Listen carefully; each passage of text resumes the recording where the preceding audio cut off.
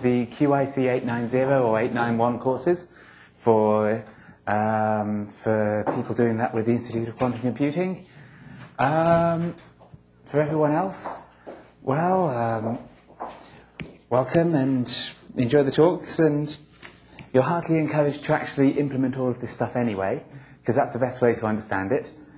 Um, yeah, so this week I'm going to be picking up, I guess, where I left off. In the first talk I mentioned, I introduced uh, the idea of what a tensor network algorithm was, and I introduced graphical notation, and looked at one particular example, which was the matrix product state, and showed how that can be written in the, um, in the graphical notation. And I talked briefly about I talked briefly about one of the algorithms, the TEBD algorithm, which is used for computing the ground state of a spin chain represented using the matrix product state ansatz. What I'm going to do this week is I'm going to talk about the, uh, the TEBD algorithm in a lot more detail, uh, so that after I've talked about this, hopefully you'll all be in a position to go away and implement it.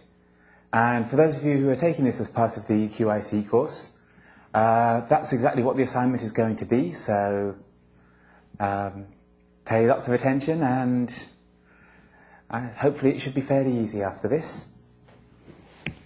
So, I'm going to specifically, I'm going to talk about how you will implement uh, imaginary time evolution using the TEBD algorithm to compute the ground state of a, or to compute an approximation to the ground state of a model such as the, well, specifically the critical Ising model is what we're going to look at.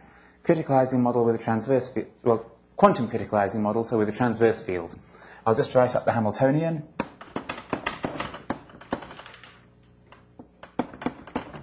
So we're looking at, we'll be looking at an n-site, uh, as an n-site chain with open boundary conditions.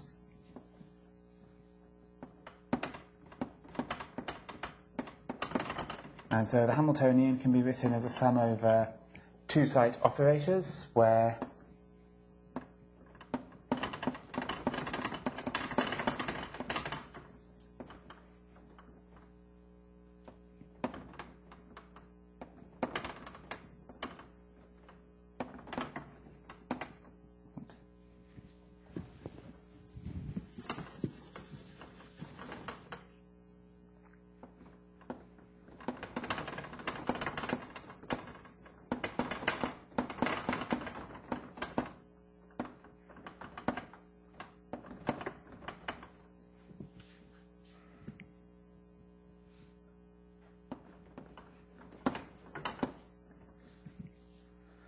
So we have a two we have a two site uh, we have a two site operator h i i plus one, which written like this, and we have the Hamiltonian as a whole. Capital H equals a sum over um, this two site operator acting on each pair of sites. Sites one and two, two and three, three and four, four and five, five and six, six and seven, all the way down, all the way up to sites n minus one and n.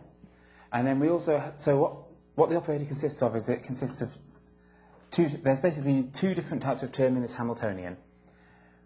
Uh, we have a term composed of two Pauli x, sigma x operators, and what that does is it favors uh, spins on adjacent sites being aligned in the x direction. Sorry, yeah, in the x, sorry, it favors them being aligned in the x basis. So either both spin up or both spin down in the x basis. And then we have a term um, which is a Pauli Z operator. Oops. So this is the, the and the critical. Sorry. This is in, this is the Ising model with a transverse field generally here. And then if we set h equal to 1, then we've got the critical Ising model with a transverse field. And so we have these two competing terms. There's a term that tries to set all the spins to, to match to equal alignment in the x direction. And there's one which tries to align them in a specific direction in the z, uh, in the z axis. So This is the quantum critical, this is the quantum Ising model with, with a transverse field, which is this field corresponding to the sigma z operator. When h equals 1, this model is critical, and then that's the uh, quantum critical Ising model with the transverse field. Now, um, just to give you a vague idea of what's going on in this model, it's kind of helpful to look at um, what happens as we change the value of h.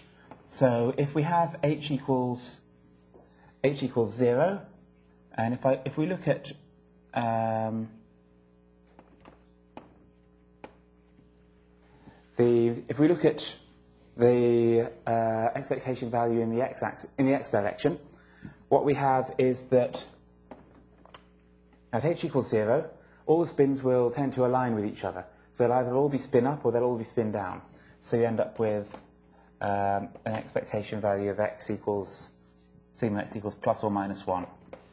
Uh, at sufficiently large z magnetization, the spins, uh, so sufficiently large value of h, you're going to magnetize all the spins into a particular direction in the z-axis.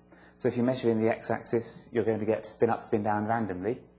And so for large h, you find that um, you find that you have no magnetization whatsoever. And there is, in fact, a phase transition which occurs at, which occurs, and there is a phase transition which occurs at h equals 1, where you move between these two different regimes.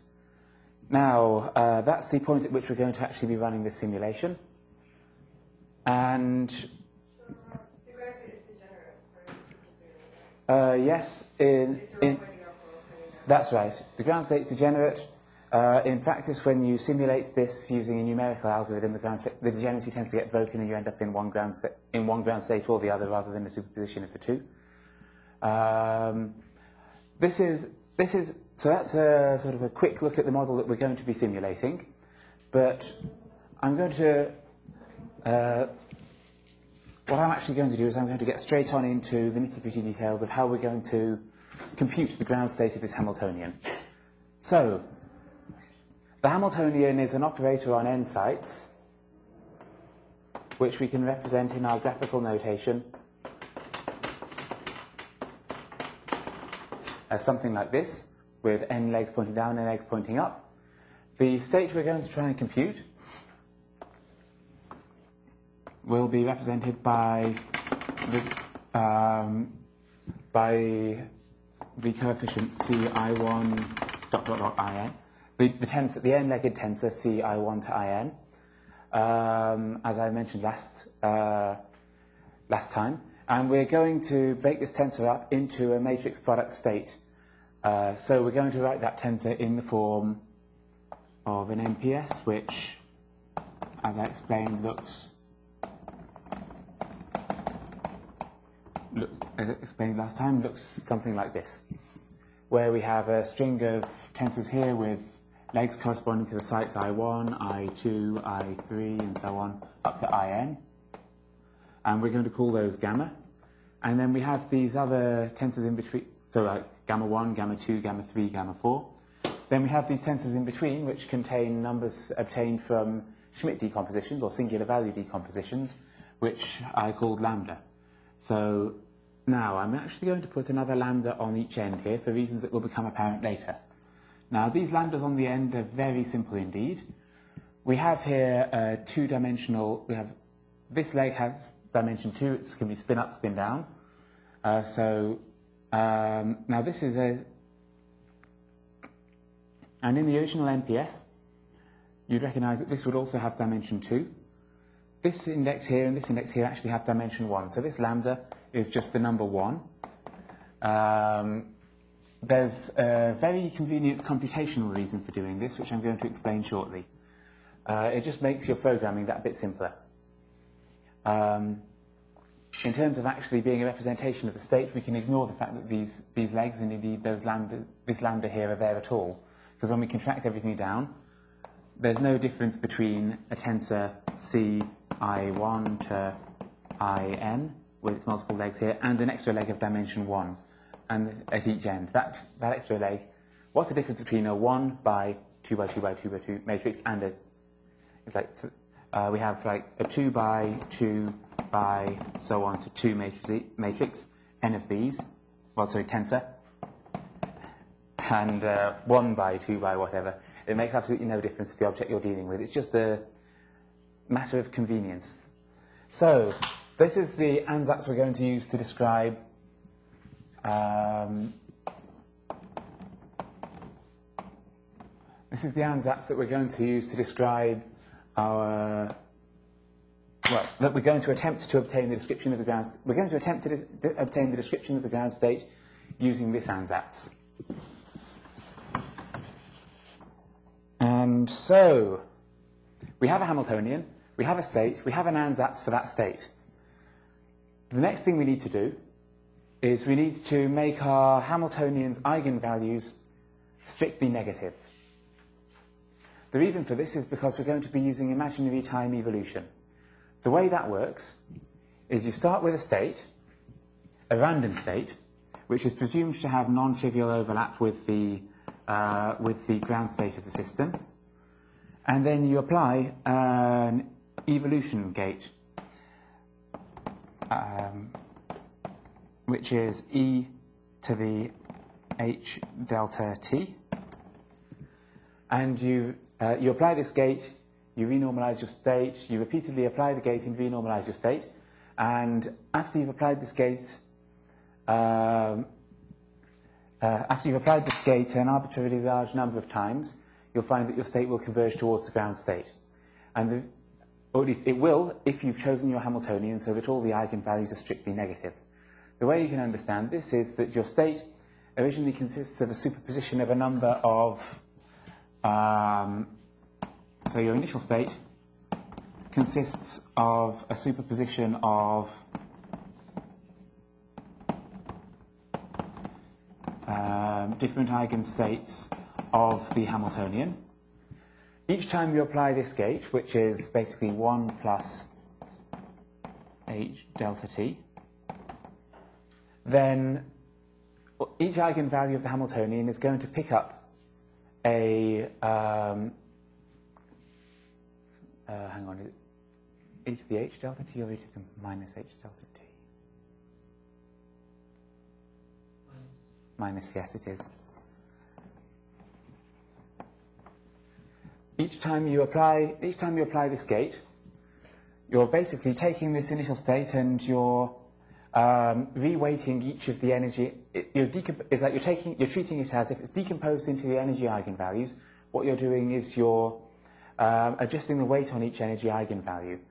And eventually there's, and the one, and what you're going to do is you're going to, each time you adjust the, uh, adjust the weight on these eigenvalues, you're going to favor the state with the largest energy eigenvalue, largest negative, with the, with the lowest, with the, by choosing H to be strictly negative, to have strictly negative eigenvalues, by repeatedly applying this gate, you're going to select out the energy eigenstate that has the largest magnitude eigenvalue, the smallest energy overall, uh, until and by repeated application of this gate, you're going to end up with eventually all the other states are going to decay away to approximately zero, and you're going to be left with just that ground state. And so that's the idea behind um, behind imaginary time evolution. So we want to make our Hamiltonian uh, have strictly negative eigenvalues. What we're going to do is we're just going to take the two-site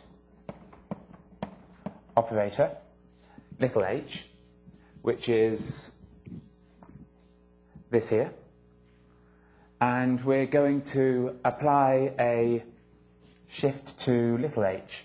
We're going to um, so we're going to write that as a, as a 4 by 4 matrix. We're going to compute its eigenvalues, and then we're going to subtract off the identity matrix multiplied by um, the largest positive eigenvalue, leaving with eigenvalues that are 0 or negative. And so that's going to give you a, a modified form of little h here, which is going to be the, uh, so yes, um, once you've done that shift, we're going to, um, you've got a little h whose eigenvalues are strictly negative, and um,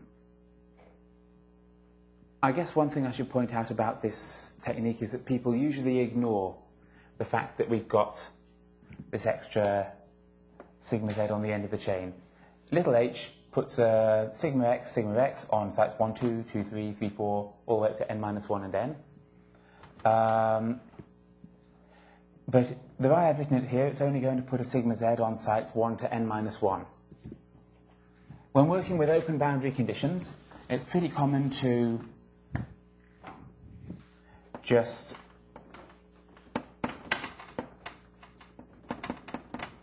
first of all to first of all to symmetrize. So, so this is also sigma, I, sigma z on sites i and i plus 1 over 2. Uh, now, when you sum this up over the whole chain from sites um, 1 to uh, 1 to n minus 1, you're going to end up with a sigma z on sites 2 to n minus 1 and half a sigma z on sites 1 and n. And then in practice what happens is that people are typically interested in the large n limit. And so you can, um, so what we're going to do is I'm going to say, for, this, for the purpose of the assignment, don't worry about the extra sigma z over 2 that's missing on the ends. Just assume that our Hamiltonian is this, is h summed from site 1 to site n minus 1, where h is this operator here. So that's, I guess we should just make this, so yeah. So that's a, there's a plus in there. That's an important thing. Anyway, so now we have a Hamiltonian, big H, which we're going to write as a sum over, ham, over two site operators, little h. Each of these little h's, its eigenvalues are strictly negative, uh, zero or negative. Um, and so big H, the Hamiltonian, now has, has energy eigenvalues which are zero or negative. Um, also, keep track of the, shift, of, the, of the shift, the amount that you've shifted the energy uh, of the, the, the two-site energy by, because what we're going, to, we're going to end up, at the end we're going to compute the energy per site, and you need to basically, if you've shifted approximately n terms each by a certain amount, then you're going to, you're going to want to shift the energy back again at, at, at the end. When you calculate the energy of the Hamiltonian shifted by a certain amount, then you compute the ground state energy with that shift in place, then you're going to want to undo that shift at the end and work out what the actual ground state energy is. So, Hamiltonian, shifted so its eigenvalues are zero or negative, um, made up of two site terms which also satisfy that property. Now, we, what we actually want to do is we want to construct this gate operator, e to the minus h delta t, which is our evolution in imaginary time. And we could do that the hard way, we could take our operator capital H, the Hamiltonian. We could perform a Suzuki-Trotter decomposition, uh, which, if you recall, is a decomposition of any operator into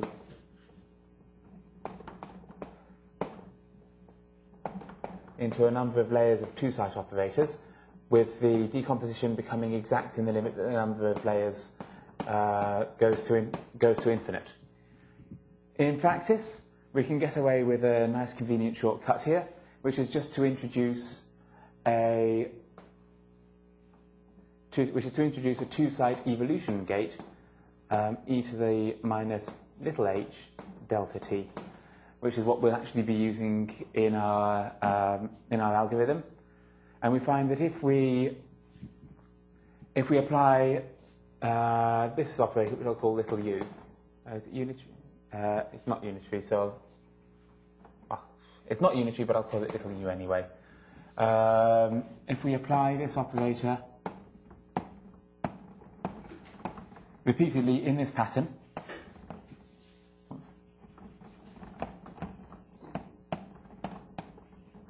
then we're going to find that that does what we want to and converges our state towards, uh, towards the ground state. You said that when you decompose uh, uh, like uh, the Suzuki Trotter, uh, do you have a systematic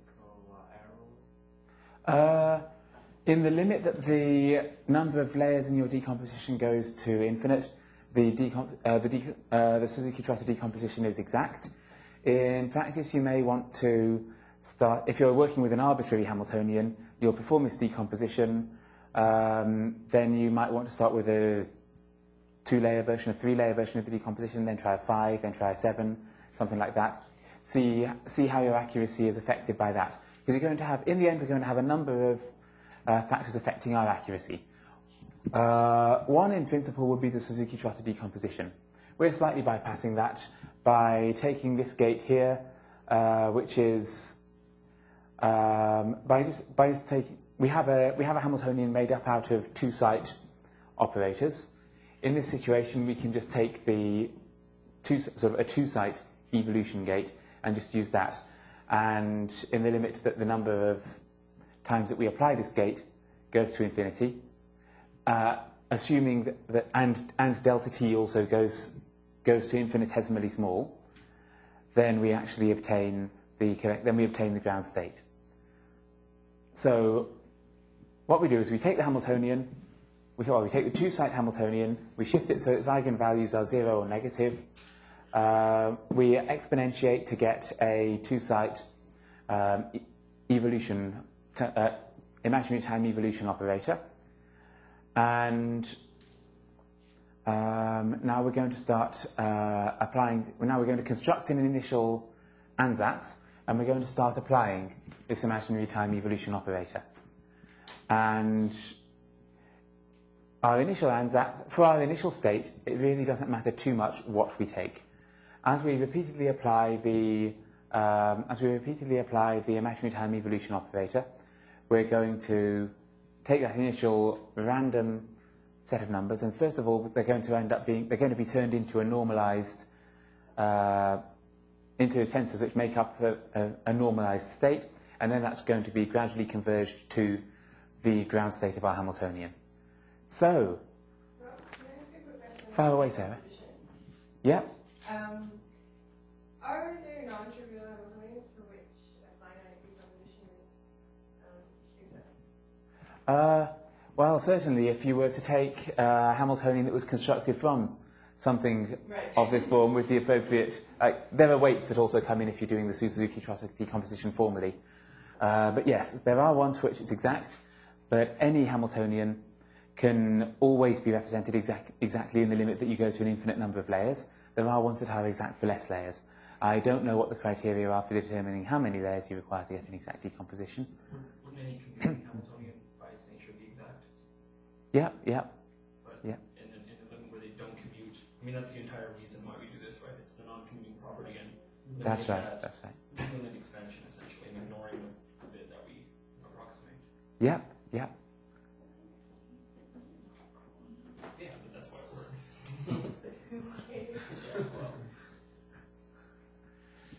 So, so sorry. Uh, in the in, in practice, we need um, uh, kind of cut off. Chi, chi cut off, that comes into our ansatz Oh, here. okay. So for the Hamiltonian, we're just working with something that's, well, and for our evolution operator, its dimension is 2 by 2 by 2 by 2. Now, for quick note for those thinking of using MATLAB for this, um, MATLAB's very nice because you can actually store a 2 by 2 by 2 by 2 object naturally. Is, like tensors are the natural objects in MATLAB. So you can have, you can construct your Hamiltonian as a 2 by 2 by 2 by 2 um, tensor. And then, but then to do this stage here, you have to reshape it into a 4 by 4 matrix. So if this, so if this is index 1, 2, 3, and 4, you're going to be fine because reshape, the reshape command in MATLAB is going to combine indices 1 and 2 together and indices 3 and 4 together. If you do like reshape a 2 by 2 by 2 by 2 object into a 4 by 4 object. If you chose instead to number them like 1, 2, 3, 4, MATLAB would naturally try and combine these two indices and these two indices if you use the reshape command. And then you, you get a mess. Because what you're looking at here, when you turn it into a matrix, you want to look at it as a matrix mapping between state on these two sites and a state on these two sites. So that becomes, say, that index and that becomes that index. Um, so yes, practical point number one. Uh, don't get uh, be careful be careful which index corresponds to which in MATLAB And be aware how the reshape command is going to combine and separate indices. Same thing again, when you reshape this back, this one is going to become indexes one, indices 1 and 2, and this one's going to become indices 1, 3 and 4. Um, now, so, yes, next thing we want to do is we want to actually start applying our imaginary time evolution operator. And so we take our ansatz, and we're going to start at one end. So we're going to start on sites 1 and 2, and we're going to apply one of our evolution operator gates to these two sites. And so the way we do that is we take the lambda at the left, the, so I guess we'll call these lambda 1, gamma 1, lambda 2, gamma 2, and lambda 3. And it's quite convenient to store all of your lambdas and your gammas in a cell array in MATLAB. I'm sure there's equivalent structures in other, uh, in say, uh, Mathematica probably, I don't know, because I know you're planning on using Mathematica to do this. But yes, um, so you have a collection of gammas, you have a collection of lambdas, you need some way to keep them organized. In MATLAB, cell array is nice. Uh, what you're going to do is you are going to take this part of the ansatz and you're going to apply your gate here. And what we want to do is we want to go from this basically back to something that looked like the original ansatz with these five terms in it there. Uh, just thinking here, might be able to. Yep, yep. Um, now then,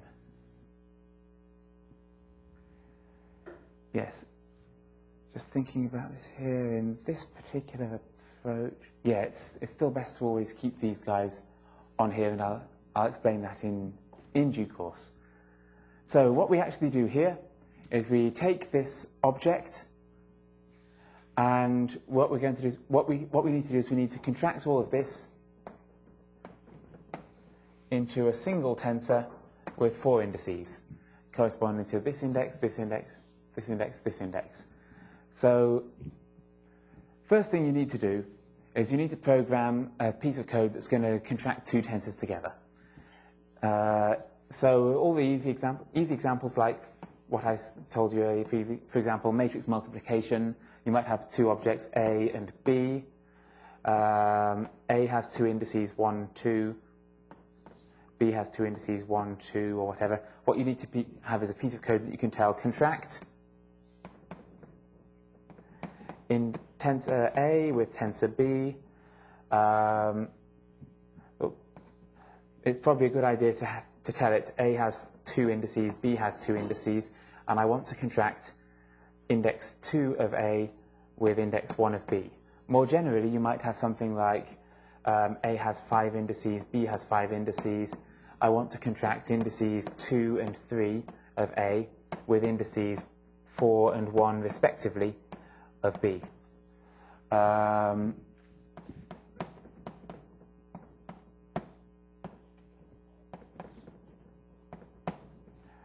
and so this would be like if we had an object A and B, and now A has one, two, three, four, five indices, which I've chosen to number like that. And we're contracting index 2 of A with 4, index 3 with 1. I have no idea why I'm doing this. Just, this is just a random example I've created and we'll just pop those out like that. Um, now, a very important thing to notice to note is, so what I've said here is, hey, let's just let's contract indices two and three with four and one. Great, all very well and good. And we're going to obtain some object C. When you're writing your code to do this, or uh, well, actually, in the interest of making this not in this assignment not ridiculously large and complex, I'm going to provide some code to do this in MATLAB. Um, it's going to, I'm, I'm going to make it fairly well documented so you can see what it's doing, so anyone working in another language should be able to transfer it across fairly easily, or at least to pick out the key concepts in, the, in the way that I've implemented this. But um, what you have, the way I'm doing it, we're then going to, you're left with several indices left over. And the way I, and you need to know what order these indices are going to be on C. One convention, for example, would be to have the indices on A in numerical, come out in numerical order. So we have index A1, then index A5, corresponding to indices 1 and 2 of C. And then we'd have um, index B2, oops, uh, B3, and B5 uh, coming out. And so as indices 3, 4, and 5 of C. But the point I'm making is that basically, keep track of your indices. Don't, uh, MATLAB is not psychic. It can't tell that if you, want, if you wanted the indices to come out, say, in order A1, B2, B3, A5, B5, it's not going to know that. You've got to make sure, you've got to think about these things. You've got to think, okay, I'm, I'm going to contract these indices with these indices. First of all, make sure that you're, you're matching them up correctly, 2 with 4, 3 with 1, for example, uh, not the other way around. Um, keep track of which index is which on your tensor. It's all too easy just to draw the diagrams and forget whether this is index 1, this is index 2 on the object that you're storing, which is sort, sort of some object A, which is 5 by 5 or whatever. You forget which of your five-dimensional indices is, is, this, is this one out here, which one is this one out here. Or you forget to actually take care when you're implementing it in your code and you get your indices switched around. Very easy to happen. The main things to keep track of when you're implementing stuff like this is which index am I actually connecting with which here? Have I done it right? And on the thing that comes out, which index was which on the original objects? Um, in MATLAB, you can always use permute to rearrange them. So if C comes out like this, A1, A5, B2, B3, B5, and you want these two the other way around, then you can use permute to swap around indices 3 and 4 on C. Um, also, just because I've chosen to draw my tensors with the indices in order 1, 2, 3, 4, 5 doesn't mean that you have to. I've seen people draw tensors where they're like 1, 2, 3, 4, 5. Um, whatever suits you, but keep track of where your indices are and keep track of which index uh, on your diagram corresponds to which index in your code. So it's like if the one in the middle on your diagram is the fifth index in your code, that's fine, so long as you remember that. So,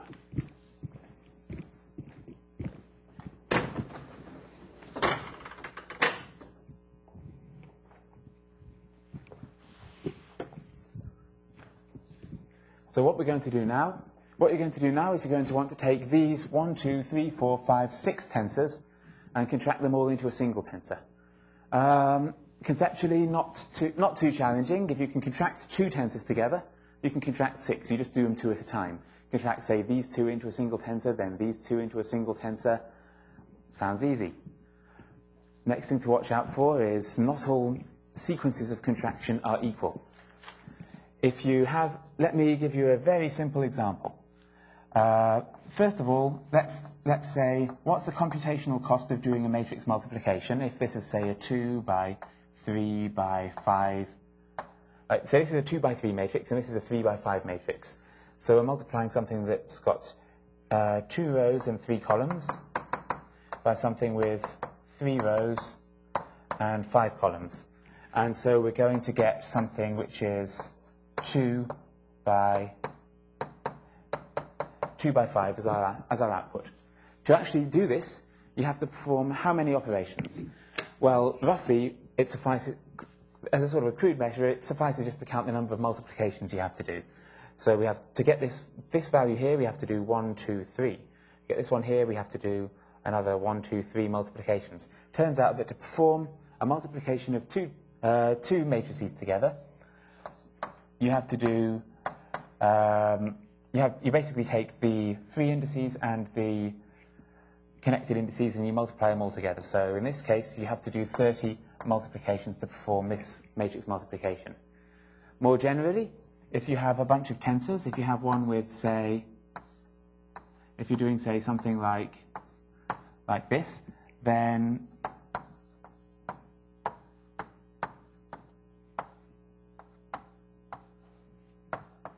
Then again, what you do is you just have to, you have to multiply together all of these all of these uh, dimensions of these indices.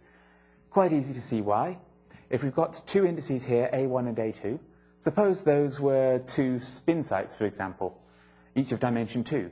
Well, we can collectively enumerate those with an index of dimension 4. So like for, that's like, for example, going from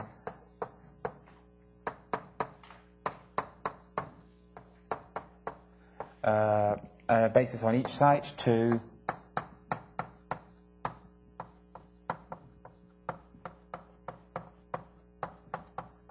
a basis on the two sites together. So we can so basically what you can do is you can take these two indices and combine them into a single index, these two indices and combine them into a single index, these two indices and combine them into a single index, and then you're back to here.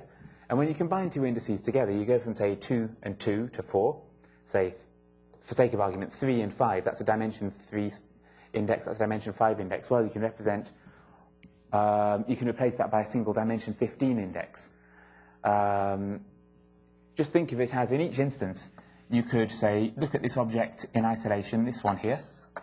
It's got, say, 2, 2, 3, 5 uh, the dimensions of its indices, you can say, well, what if these were actual physical sites? We've got a site of dimension 3, a site of dimension 5.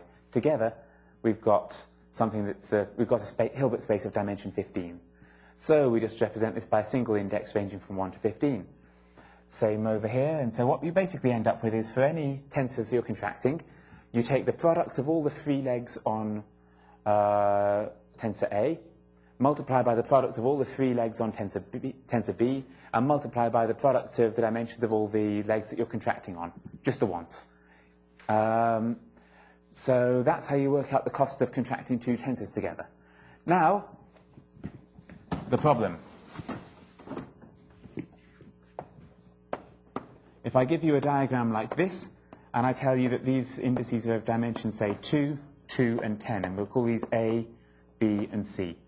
Now, suppose the first thing we do is we contract together um, indice, uh, tensors A and B.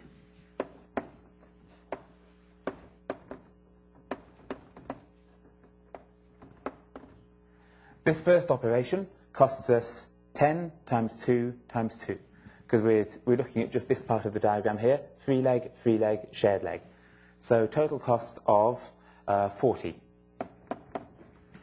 And then we're going to contract AB with C. Uh, that's another cost of 20. And, well, a tensor with no legs is a number. We've actually, uh, but, but, I mean, just in this particular example. But yes, we've got a total of cost of, total cost of 60 to evaluate this diagram here. But if we went in a different direction, if we first contracted B and C together, then sure, the first step costs us 40 again.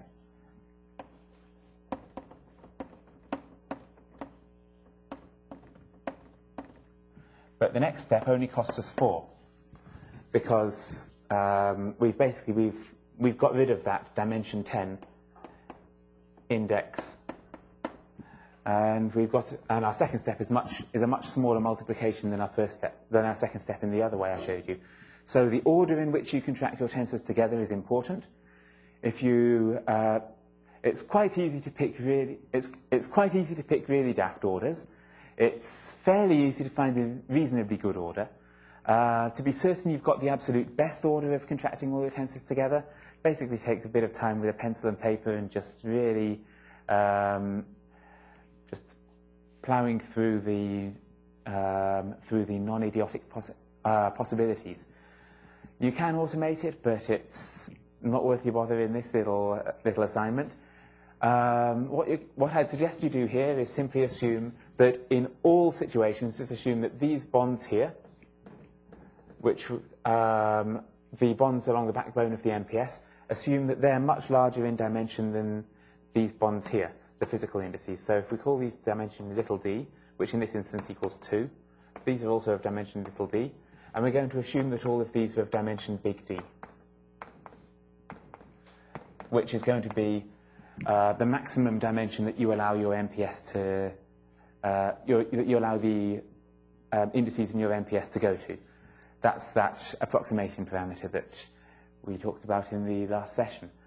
Um, if you make that assumption, then you're going to get, and you, and you work out the cheapest sequence for contracting this diagram, then you're going to get a sequence that's going to stand you in good stead in the middle of the chain where the, um, where the contractions of these diagrams are the most expensive anyway. When you get out towards the edge of the chain, where these are sort of 8, 4, 2, 1, then those are fairly cheap operations anyway. You're not dealing with great big tensors. In the middle of the chain, it might be 100, 200. So towards the edge of the chain, you really don't care if your sequence is not optimal. So save yourself a bit of effort. Just work out one sequence uh, which is best for the middle of the chain and use that everywhere. Um, yeah, so so you've got your code for contracting two tensors together. Uh, you've applied it sequentially to contract these six tensors together, and you've got your um, you've got your collective blob tensor here. And now what you're going to do next is you're going to break this back up into uh, gammas and lambdas. So the first thing you're going to do is you're going to divide it down the middle here, uh, which you do by um, combining this index with this index, and this one with this one, so you have a matrix. Then you singular value decompose that matrix. So I'll sort of draw that like that. Then you singular value decompose that matrix. Let's draw single in it.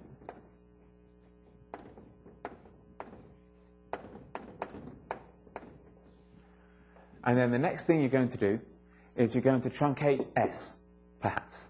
Because in general, if you're working, if you're saying the maximum dimension I'm going to allow here is big D, it's possible that these bonds here may now be larger than big D. In fact, they could be anything up to two. Say this is going to be this is going to have physical dimension little d or two. Up here we have dimension big D. So what we see is that when we do our singular value decomposition, these could have a dimension up to 2 big D. We've got to truncate this. And so what we're going to do is we're going to take our, our singular values, our Schmidt, uh, Schmidt coefficients, and we're going to retain only the D largest coefficients. And so we do that, and we similarly we truncate U and V dagger, so that um, U is now 2D by D. Um, S is truncated to be D by D, and V dagger is truncated to be D by 2D. Next thing we have to do is we have to keep our state normalized. So what we require is that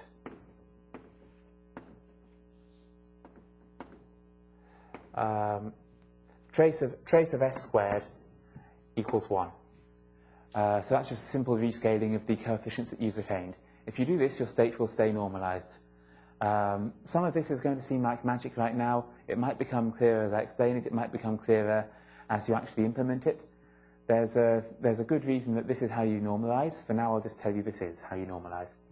Then you take U and V dagger, and you go from U like that to being, to being a, but it's still not a gamma yet, to being U like that, and the same with V dagger.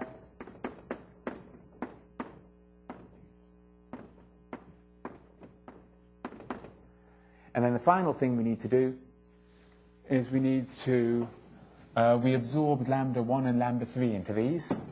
So what we need to do is we need to multiply by the inverses, which is easy to do because these are uh, diagonal, um, these are diagonal matrices. So we multiply by those inverses and we have a new gamma 1 and gamma 3.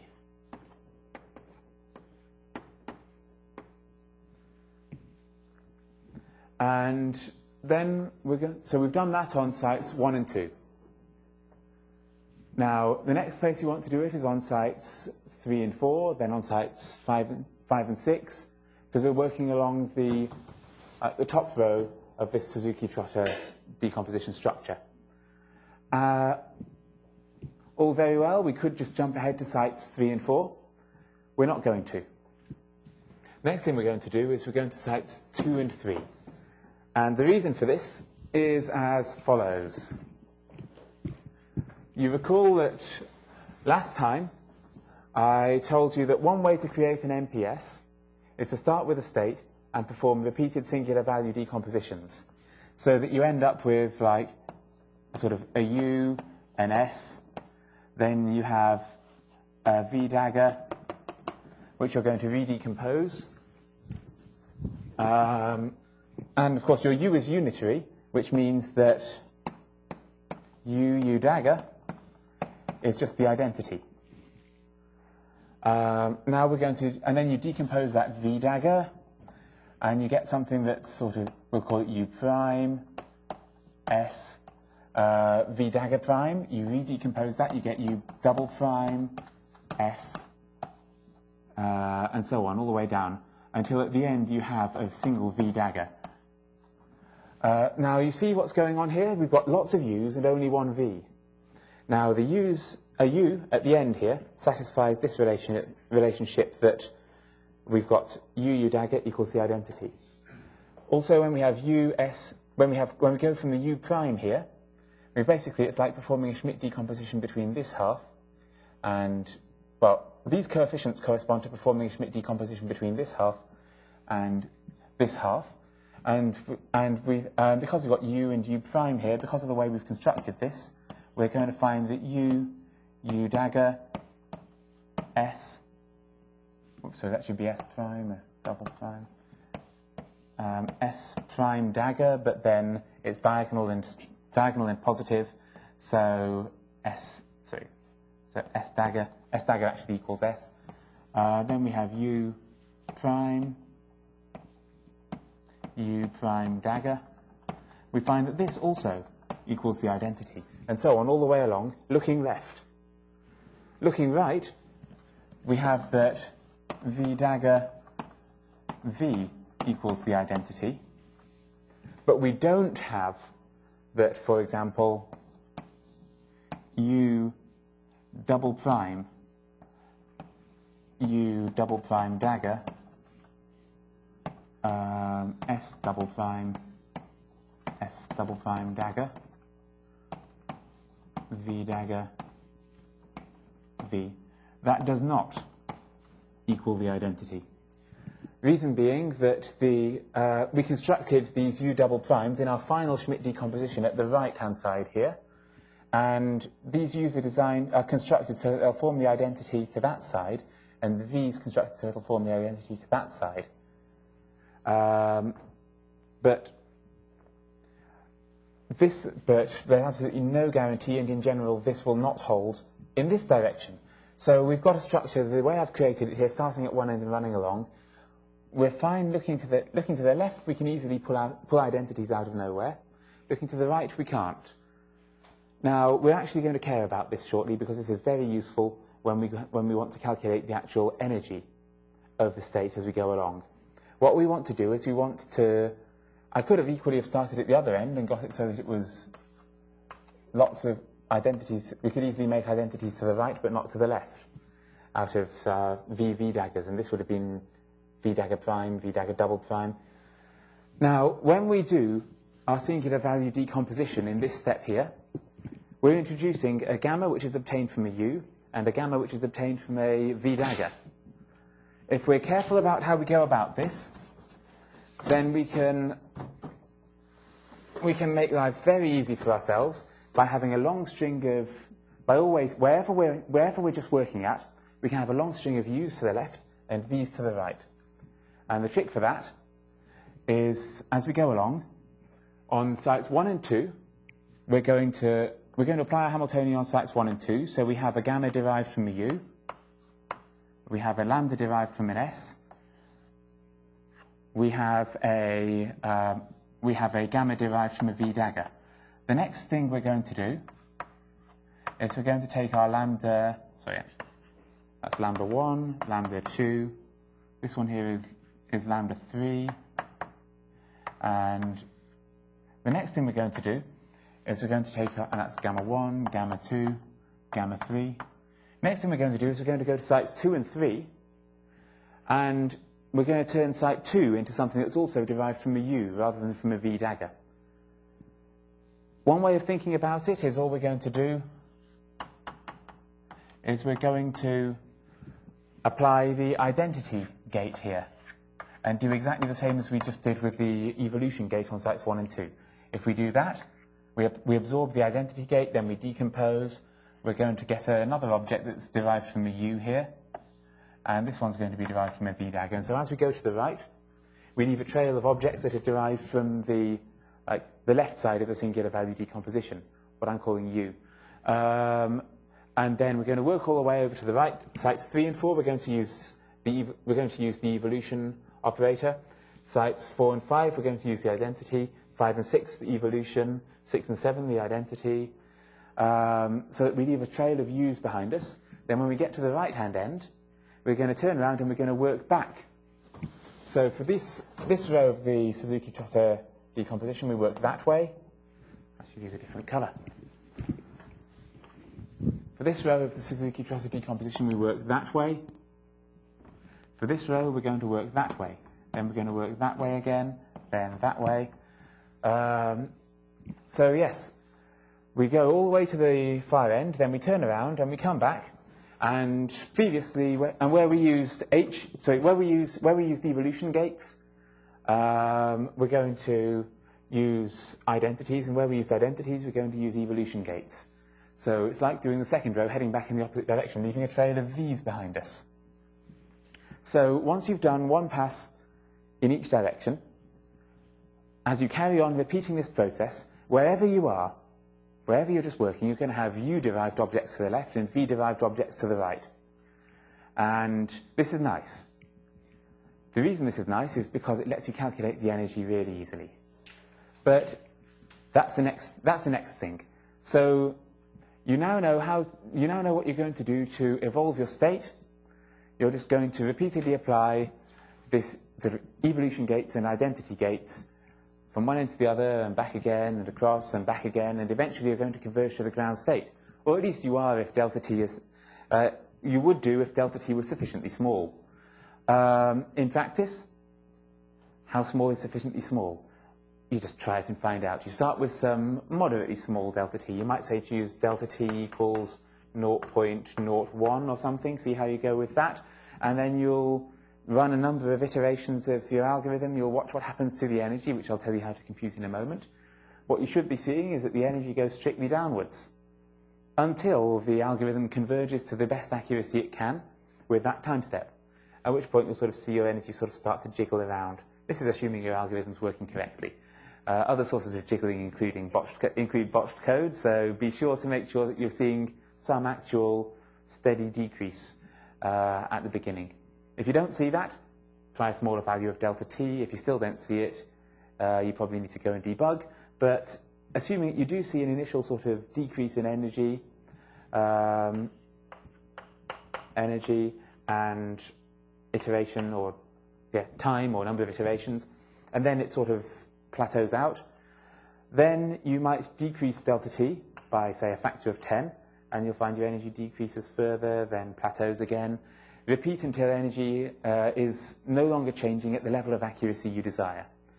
You can even automate this procedure when you're really confident in your code. You can tell it, okay, if say uh, 10 out of the last 30 steps the energy's gone up, then we're definitely in a wiggly regime. So decrement delta t. Uh, up to you how much you want to automate it. At first, you'll probably want to stay very hands-on uh, because if the risk of automating something like this is that something strange happens in your code, and before you know it, these systems have started responding to bugs, and, and they've dropped delta t by a factor of 10 billion, and nothing is happening anymore. And you'd really like to see what was actually happening and try and figure out what was going wrong. So, automate with caution, but once you're confident in your code, it's a nice thing. You can automatically have the size of delta t step down as you um, as you run your as you run your um, as, you, as you run your software. So the final thing is how to compute the expectation value of the Hamiltonian, the energy. Sorry, we, we have this room for 2.30, I think. We... Okay, um, I'll just wrap up quickly. So the final thing you need to do is compute the expectation value of the energy. Now, because the Hamiltonian is a sum, we can write the expectation value of the Hamiltonian is the sum over of sum of the expectation values of its terms. Um, each individual term, well, when you're working on, say, sites 2 and 3, and you, uh, we, we calculate each term as we're working, so we work out the expectation value of H23 when we're working at sites 2 and 3. So say you've just applied an evolution gate to sites 2 and 3. Um, now you're going to compute the expectation value of H23. And the way you do that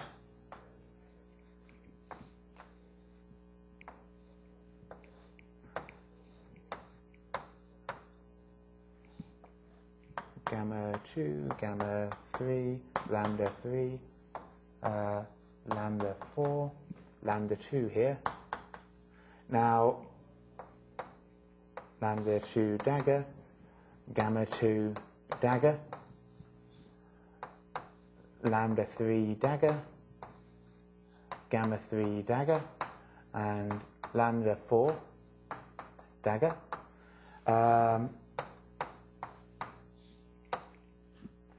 now, to calculate, so this is like, the, this top bit here is, is, we're looking at a little bit of our MPS, so that's like the state. Here we have H23, the operator. Here we're looking at the conjugate obtained by vertically reflecting and complex conjugating all the coefficients in our tensors, so that's the bar. Um, now, what about all the rest of these states off here? Remember how I said that we choose it? The way we do this is so that we have all U-like stuff off to the left and all V-like stuff off to the right. Very convenient. It means the entire left of our diagram collapses into a, um, a delta function, an identity. Basically, we just link up these two indices here. Same to the right, and so that's your diagram for computing the expectation value of H23. Now, in the limit that your algorithm converges, H23, for example, is not going to change from pass to pass to any significant extent. Well, in the limit it's converged, it's not going to change at all. So you just compute each one as you get to it, and you don't worry that your ansatz is actually changing as you go, because uh, this expectation value ultimately will, will converge, and then you'll end up with H23, the expectation values of H23, 3, 4, 4, 5, 5, 6, they'll all be stable. And so you can work out the total, you can, work, you can sum them all up and get the ground state energy of the system. And so that's how you do the TEBD algorithm. And I'm sure there's bound to be questions, uh, but looks like we've run out of time in this room. So I'll call that, I'll call that a day, and if there's any specific questions about any parts of this, then people can grab me afterwards and we'll take it to maybe the Feynman Lounge or something. Thanks, everybody. Thank you.